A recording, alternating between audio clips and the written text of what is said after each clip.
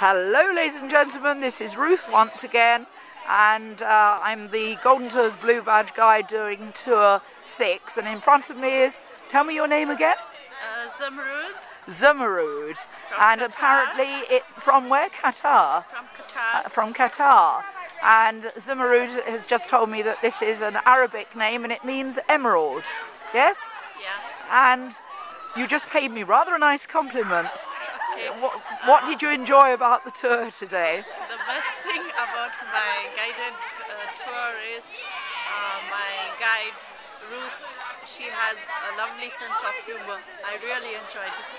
That's very kind of you to say that, Zumrud. And uh, you're here with your whole family, aren't you? Yeah, I'm with the whole family for my summer vacation. And have you been enjoying London as a whole? A lot. I love this place. Yes?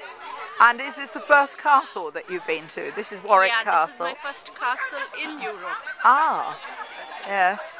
So, did you see any of the waxworks here? Yeah, I had been to Madame Tussauds. Where was that? Madame Tussauds in London.